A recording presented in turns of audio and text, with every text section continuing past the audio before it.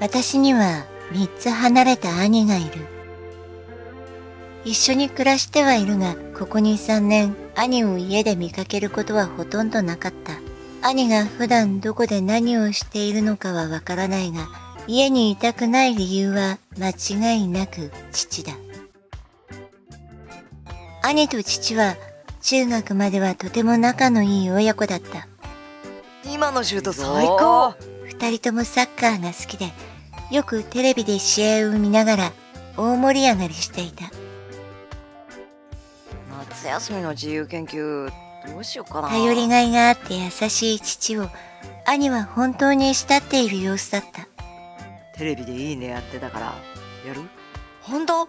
やるやる父もまた明るく何事も一生懸命に取り組む兄をとても可愛がっていた。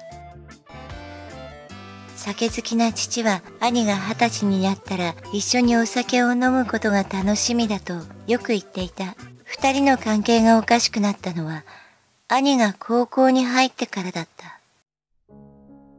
柄の悪い人たちとよくつるむようになった兄は高校をサボりがちになり夜な夜な外出しては朝方まで帰ってこなくなった。警察にも何度か補導され、高校からはこのまま生活態度が改善しなければ退学してもらうと言われた。そんな兄を更生させようとする父と毎晩のように激しい口論をしていた。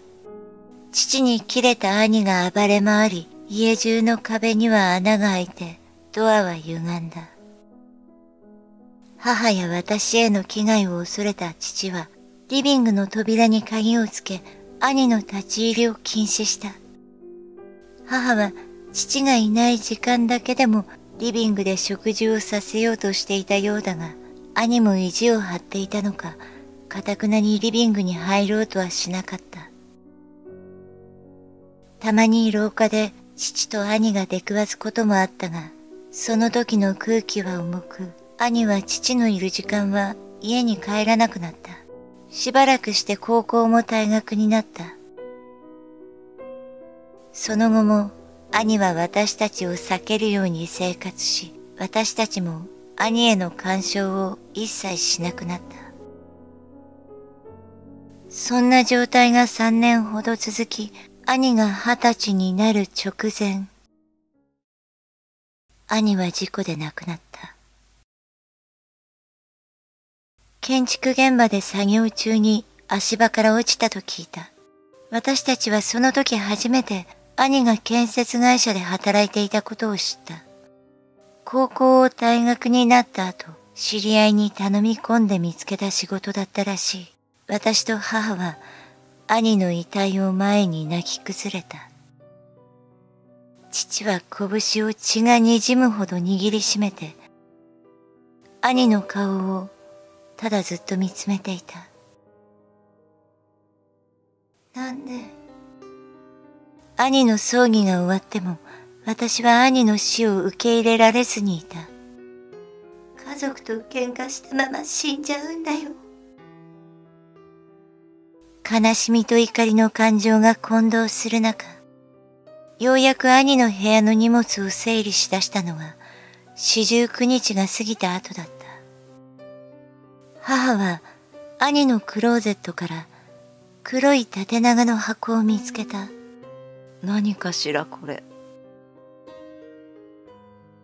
箱の中には一本のウイスキーが入っていた。それは兄が生まれた年に瓶詰めされた20年ものの古書だった。そしてラベルには兄の字で、親父、ごめん。酒の力を借りて、また一緒にサッカーが見たい。と書かれていた。それは兄が父に渡そうとしていたものだった。二十歳になったら一緒にお酒を飲むという父との約束を覚えていた兄。普段は素直になれないけれど、一緒にお酒を飲むことで元の関係に戻りたいという兄の思いが込められていた。ラベルの文字を見た瞬間、父はそのボトルを強く抱きしめた。兄への接し方に迷い、素直になれずにいたのは父も同じだった。良介。良介。